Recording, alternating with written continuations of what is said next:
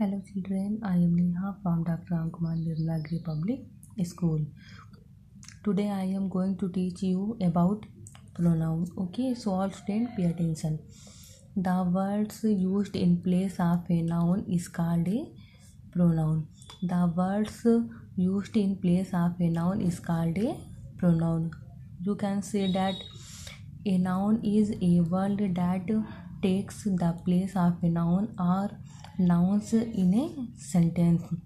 A noun is a word that takes the place of a noun or nouns in a sentence. For example, Mohan is a good boy. Here, Mohan is a noun. Okay, he gets up early. He words used in place of a noun. Okay, so Mohan is a good boy. He gets up early. Next example Sita is a good girl. Sita is a noun. He uh, she sings well. A C word used in place of noun. So Sita is a good girl.